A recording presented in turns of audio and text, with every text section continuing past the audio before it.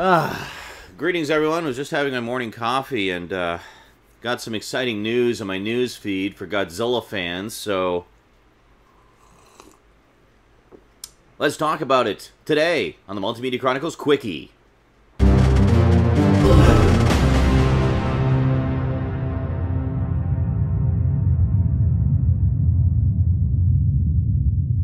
Ah, didn't even have time to put down my coffee. All right, so here's the news. You know how there's a handful of Godzilla movies that we've never actually got the original uncut versions over here, such as there's King Kong versus Godzilla. We've only ever had the American version here. We've never had the uncut Japanese version. Well, another one that falls into that category is Godzilla 1985, or its original, going by its original title, The Return of Godzilla. Yeah, it's only ever been available here on VHS, and specifically only the Americanized version, which cuts out about 20 minutes worth of footage, inserts footage of Raymond Burr, and a little bit of humor, and tries to make it more of a sequel to the American version of the 1954 original, rather than just a, you know, the, the, the original intended. It's also not as dark, apparently, as the original Japanese version. So I've been really curious for years to know what the difference is. I mean, I've seen Godzilla 1985 a number of times. It's awesome.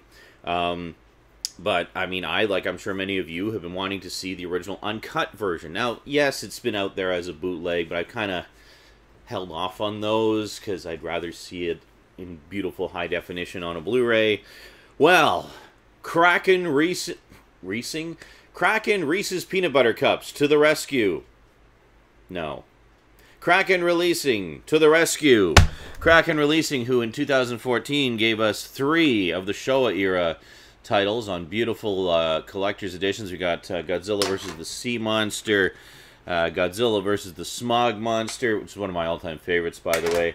And which one is this? Godzilla on Monster Island. And there we go.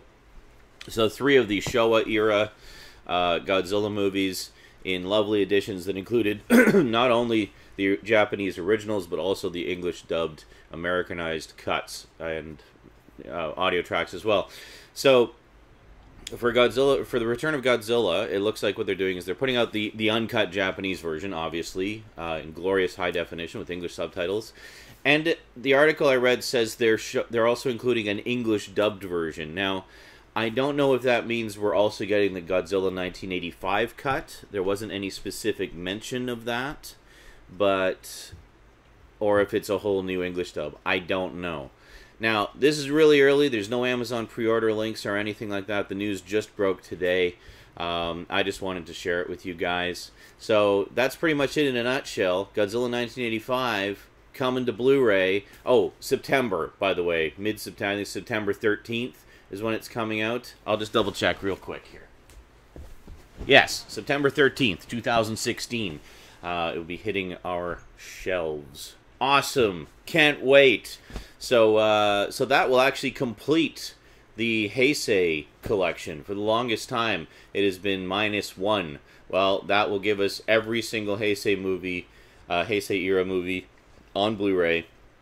You'd have to go across a couple of different publishers well, I guess three, three different publishers because there's was Echo Bridge released Godzilla, Godzilla vs. Biollante, Sony released all the others, and now Kraken Releasing is releasing the first part of that saga, The Return of Godzilla. Awesome. Can't wait. So excited. Now, if only somebody would give us, you know, nice Blu-rays of Son of Godzilla and Godzilla vs. Mechagodzilla the only two that are currently not in print and not available currently. Oh, you can pay collector's prices for them, but who wants to do that? Yeah, I'd rather not dump $120 on Son of Godzilla, thanks. I'll, I'll just take a nice, affordable re-release. So please give us a re-release. Come on, those have been unavailable for far too long now. Alrighty. Anyway, just wanted to share the news. Hope you enjoyed it. Big thanks to my Patreon sponsors, especially Get Your Gorgeous On. Yes, Michelle O'Toole and Simon Hedger are back awesome. Welcome back to the fold, guys. And, of course, Kyle Pellegrini, my uh, two highest level sponsors. Uh, thank you very much for the support. All right, that is it from me to you for now. So until next time, thanks for watching, and sayonara.